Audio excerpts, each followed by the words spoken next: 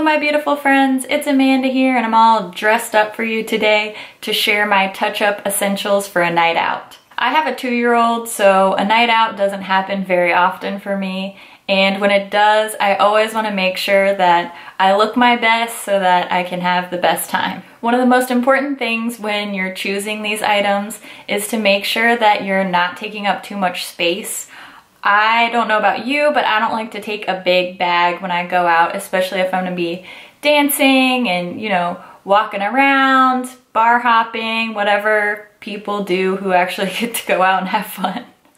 I love this little bag from Papaya.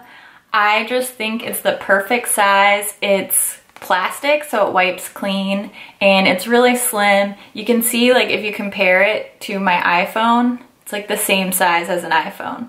So it doesn't take up too much space in your purse and everything I need to touch up fits in here. If you have a monthly subscription service like Ipsy or Lip Monthly or something like that, those bags can be really useful for this too, but this is just my favorite one. If I can find it online, I'll link it for you in the description box. Okay, let's see what's inside. You won't believe how much stuff actually fits in here. First things first, when I'm planning to go out, I really like to try to select a lip color that comes in like a mini or a deluxe size, like a sample size. I just find that this is so easy to slip into my bag and easy to touch up. I have Lovelorn from Kat Von D right here. This is what I'm wearing today. I just think this is such a smart choice. This is absolutely essential to how I pack my purse. I really don't want a big clunky lipstick, so I love choosing a mini sample size lipstick and it fits really nicely in my bag. Next essential for me is a mascara. It's so easy to find these little travel size mascaras.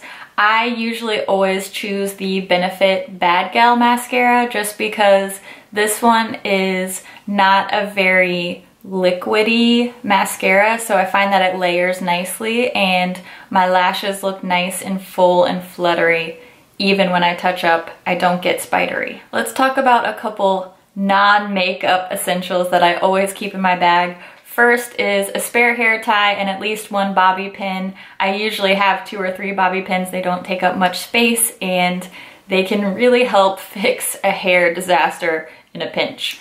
I also like to bring a couple of band-aids just in case my shoes start hurting my feet. I don't know if everybody else has this problem, but I don't really wear heels or like fancy shoes a lot. So when I do go out and I do throw on some really pretty, fancy, sexy shoes, they usually end up killing my feet and band-aids are essential to save them. The last non-makeup item that I like to include in my bag is Q-tips. And I know this might seem a little bit weird, but just hear me out on this.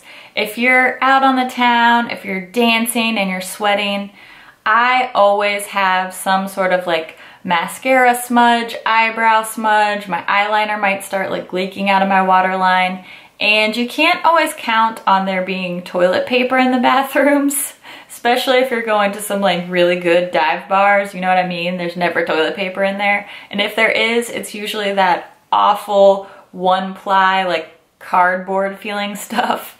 I just think that Q-tips are such a great thing to keep in your touch-up bag so you can kind of wipe away the smudge without ruining all your makeup and without completely regretting the lack of toilet paper, although you usually end up missing it at some point especially if you have enough drinks, but Q-tips can at least save your mascara and your eyeliner. Now, if you have really oily skin, then a blotting sheet is something that you're definitely gonna want to include in your touch-up bag. I really don't have a problem with oily skin, but I do like to have the option to, you know, set down any oily spots, if I'm sweating, you know, you're having a good time, you might be in really close quarters. So I do like to bring a little brush and a little powder. This little brush is so stinking cute. It's from Too Faced. It's called the Petit Pouf. And one thing I really like about it is it has this cover and it's retractable. So it's like a mini kabuki brush. It opens like this and you have this nice kind of soft kabuki brush here. I absolutely love this for touching up any spots where I'm getting greasy or you know, if you just need a little blend, sometimes you just need a little blend. This little brush is perfect. I don't know if I'll be able to find it anywhere online, but if I can, I will for sure link it for you. I find that that brush works perfectly with this little perfecting veil from Bare Minerals. This is the perfect thing to touch up. It doesn't look too cakey. Mine actually is kind of broken right now because it always lives in my bag. So I do need to repress this, but this is such a clutch little thing to have. If you can find a mini powder, throw it in your bag, girl, because you need it to touch up. Another sort of duo that I like to carry is my mini Urban Decay concealer. This is my favorite concealer. I love this. This is so, so useful. If you're wearing a dark lipstick, you can use this to kind of touch up around your lip line and then you can use a little concealer brush to really perfect that line and make it nice and crisp. Or if you have a stray eyeliner smudge or even if you're like waiting outside in the cold and you have to blow your nose. This happens to me all the time. I don't know if I'm alone in this, but if I have to blow my nose and then I feel like my makeup is just gone from my nose, I can just dab a little concealer on here and pat it out and it really evens out my makeup. This is just essential. Maybe this seems super crazy to you, but trust me, just try it. You will love having these in your bag when you need to touch up. The very last thing that I carry in my bag is this itty bitty little Tarte Marine Boosting Mist. This is perfect for refreshing your makeup if you feel like you're starting to get cakey or perhaps if you had to touch up your powder and you feel like it's just not really settling down on your face.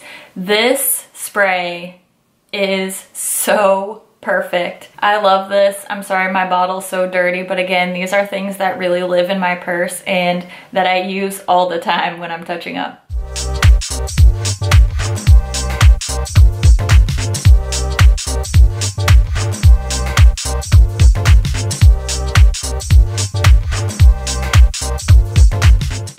So that's everything I take with me when I need to touch up on a night out.